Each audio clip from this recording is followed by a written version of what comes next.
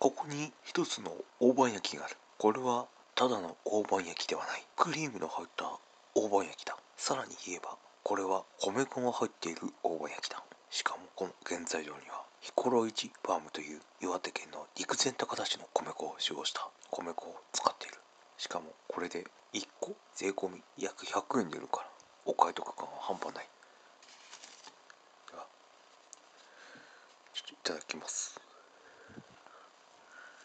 せっかくだから半分に割ってみよう。このクリームの量こ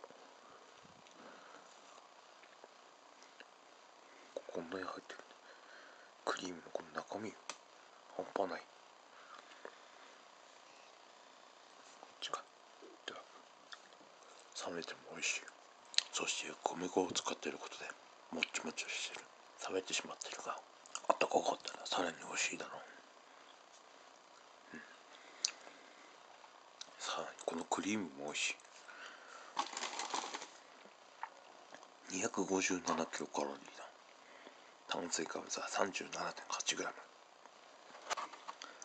こういう風になっている、うん、やっぱ小麦粉を使ってるわな。そして乳成分大豆も入っている、これはうまいです。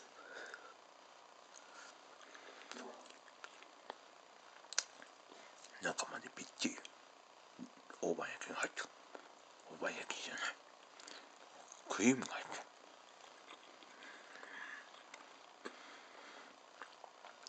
うまいな。ほらみっちりと。ここまでなかなかいっぱい入ってる。大判焼きはないぞ。ごちそうさまでした。